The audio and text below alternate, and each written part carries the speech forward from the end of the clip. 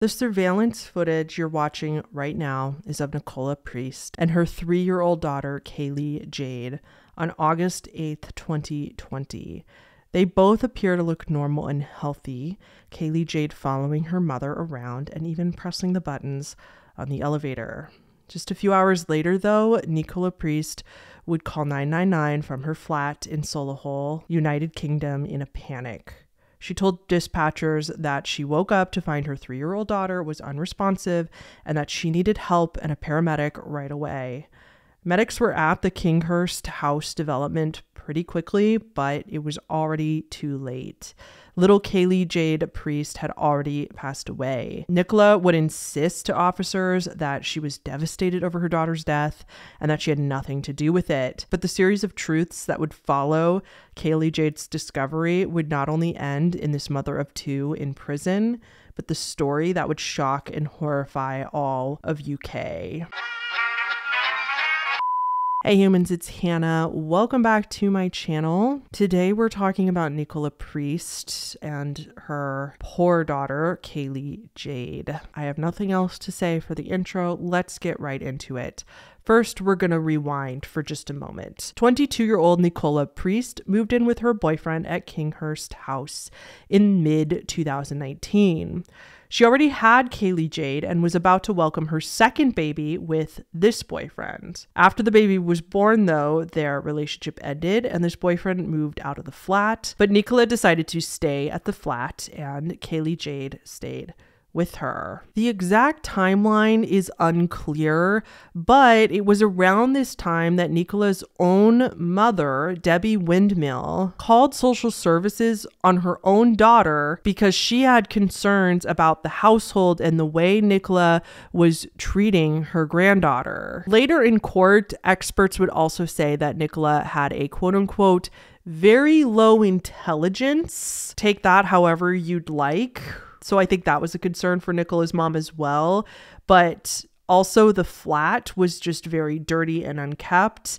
And it was particularly concerning that Kaylee Jayde's room had no lights, no curtains, and no proper carpet, which I don't know exactly what that means, but I assume it just means that there wasn't a carpet like actually installed in the room that maybe she had a rug or just a piece of carpet that didn't actually go to the edges of the room. Anytime somebody came into the flat, Nicola would be sure to tell them that she was in the middle of redecorating in order to explain away why the flat looked so disheveled and why Kaylee Jayde's room looked so incomplete. There was at least one home visit by social services, but when they checked out the place, they didn't cite Nicola for anything. And I mean, the flat looked a little grungy and a little unkept, but nothing looked outright suspicious, at least to them. But things kept getting worse.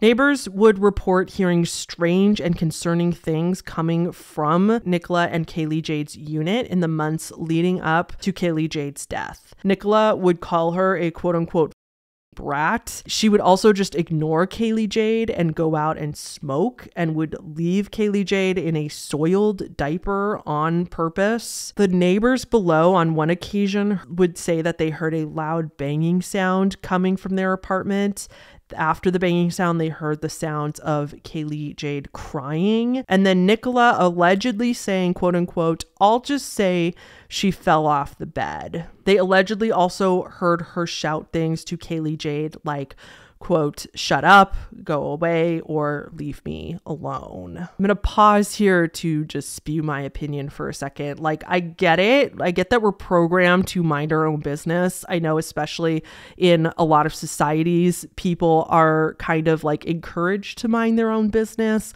not to stare at people. And if something is going on, not to say anything, because again, we either assume somebody's already taking care of it or we just don't want to get involved. It makes us nervous. It makes us nervous because if we were wrong, then we're going to be embarrassed, that kind of stuff. I get it. But also, if you're hearing these kinds of things coming from a neighbor, maybe don't do nothing. I know that CPS was kind of useless in this case anyway, but perhaps if several people were speaking up, they would have removed Kaylee Jayde from the home or somebody would have figured out that something bad was happening. Good PSA, I live by this rule and I've been living by this rule for many years that I never assume somebody is already taking care of it, whatever it may be. I'd rather speak up and be wrong than stay silent and become regretful. I know it wasn't the neighbor's fault that this happened to Kaylee Jayde, but it's just very, very sad to me that so many witnesses could hear so many concerning things and not say anything until it was too late. Okay, anyway.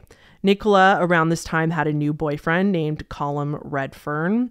On July 24th, 2020, she had apparently texted Colum I'm gonna kill her, dot, dot, dot, because she keeps leaving the living room or going in the kitchen. So I've paled, which means hit her. I've paled her one and smacked her for shitting her nappy. A nappy, if you're American, means a diaper. In response, Callum writes, Good, give her one from me.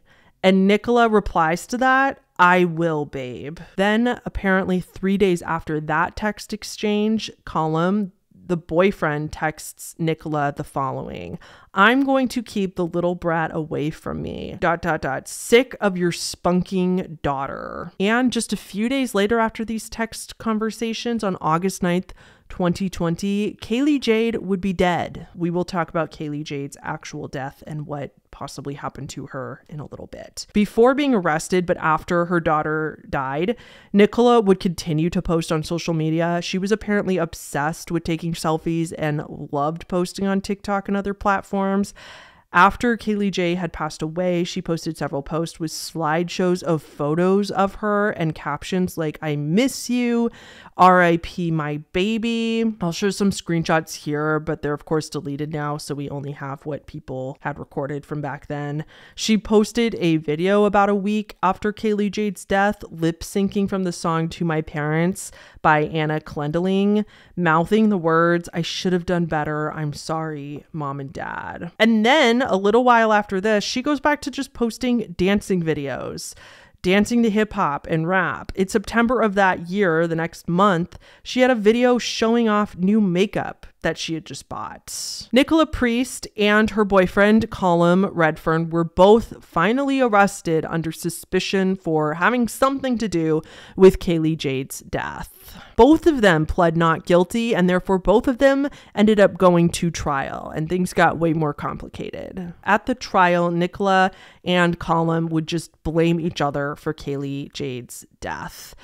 Here's where I'm going to tell you what happened to her, or at least the few details that we do know, because it's honestly still pretty fuzzy. After they came home, so after the CCTV footage that you saw at the beginning of this, Colum comes over to their flat to visit Nicola.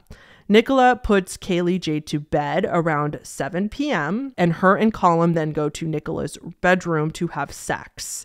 However, while they're having sex, Kaylee Jayde, you know, being a three year old toddler, she wasn't tired and she kept getting out of bed. She wanted to stay up and play and didn't want to sleep. Very normal for a three year old. Nicola and Colin became enraged that Kaylee Jayde was uh, interrupting them, and that's about all we know. That was on August 8th, and the next thing that's abundantly clear is that Nicola calls 999 UK's emergency number on August 9th, the next day around 11 a.m. So she passed out and went to sleep and didn't check on her daughter until 11 a.m. Didn't matter because Kaylee Jayde had already passed away. All we know is that either one of them or both of them, like maybe they took turns, we don't know, beat Kaylee Jayde severely that night. We don't know who did what or the timeline of events or who imposed what injury or which one of them imposed the fatal injury. What we do know is that Kaylee Jayde was so injured at one point in the night that it caused her to start vomiting all over her room. And Nicola and Colm, one of them changed her bed sheets for her because she had vomited all over the room, which is really confusing to me that they're willing to physically injure her that much, but still change her bedding and her clothes. Like, even though they were the ones that caused the vomiting in the first place, like, they don't want her to be dirty, but they're willing to physically injure her so terribly is very confusing to me, but I'm sure it's just like abuser mentality we'll never know, you know? Anyway, those details are important for what happens at the trial because, like I said, Nicola just blamed Colm for everything, and Colm blamed Nicola for everything. They both were saying they weren't involved in beating Kaylee Jayde and that they had nothing to do with it, and it was the other one. We know that Nicola was very low intelligence, according to the experts, and some people said that Colm was the more dominant partner in the relationship kind of implied, although I don't know this for sure, that like it wasn't until he was in the picture that Nicola became like outwardly abusive to Kaylee Jayde and that the physical abuse kind of started after he uh like soiled her mind about how much he didn't like somebody that wasn't his child and stuff like that. Very weird. But Colm's dad came to his defense and claimed that his son was quote unquote like a kid himself and believed that he wouldn't have done any of this if it wasn't for Nicola and acted like Nicola persuaded him to do all this and that he just got wrapped up in Nicola's crap, which like I certainly don't think Nicola's innocent, but I kind of have a hard time believing that personally. It seems like it was both of them. What I'm not going to do in this video is go into gruesome details about Kaylee Jayde's autopsy. The details are online if you want to know them, but they're just like super horrible. I'd probably talk about it if it was adult, but because she was just a baby pretty much, like I just can't. I don't want to talk about all the like specific injuries. It's this video is triggering enough. What I will say though, I'll give you general statements. They found 68 injuries on her total some of them were new and some of them were old, and she essentially looked like the victim of a car accident, similar to someone who had been hit by a car going 40 miles an hour. So, most of the injuries were recent and were suspected to be from the night that Kaylee Jayde was killed, but some of them were weeks or even months old.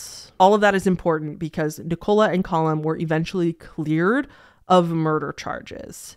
They didn't get charged for Kaylee Jayde's murder at all. I know that sounds absolutely bonkers. That sounds wild to anybody. But remember, the trial was extremely complicated. Like I said, the two just continued to blame each other. There was no other witnesses in the house to really know what happened that night. And it was essentially impossible to prove that murder was the intention. It was also impossible to prove if one of them was the murderer and one of them was just a bystander or an accomplice and witnessed it but didn't actually do anything. Like if they can't prove that, they risk I think my understanding is that they risk a mistrial or they risk them getting off completely or getting a much lower sentence if they can't prove it definitively. And if they're just going to point the finger at each other, like that's why they threw out murder charges. It made the case in the trial so messy. Plus, often the logic was physical abusers will often think that since the person they're abusing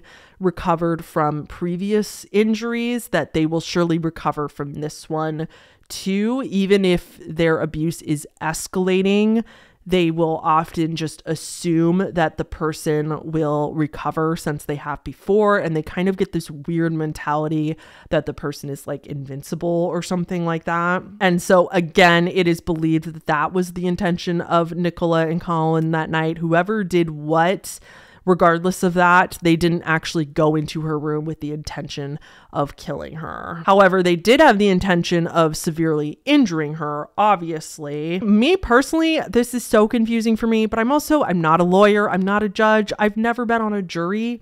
So, like, what do I know? But what's confusing for me about that is that those text messages that they sent, where they were literally talking about killing Kaylee Jayde and how happy they were about hitting her, it's very confusing to me that she can threaten to kill her daughter in a text message long before, days before she actually died, and how that wouldn't then be considered premeditated murder. That's very confusing to me. That part is confusing, but like I said, it's more complicated than that. And I believe they just didn't want to risk a mistrial, is what I maybe that's just what I like to think. Anyway, they did obviously have the intention of severely injuring her, though. So instead, both Colum and Nicola were both charged and convicted of manslaughter. So even though they couldn't prove that the intention was murder, they could at least prove that she died as a result of their actions, basically. Colum was given a measly 14 years for these manslaughter charges. Nicola was given 15 years for manslaughter, but she was given an additional three years for a separate charge that she was convicted of, which was cruelty to a child. Again, she was charged for this because they found old wounds on Kaylee Jayde's body, and that would have pretty much only been the person that was living with Kaylee Jayde, which would have been Nicola. And so they charged her with that as well. However, her three years she's serving concurrently with her 15 years.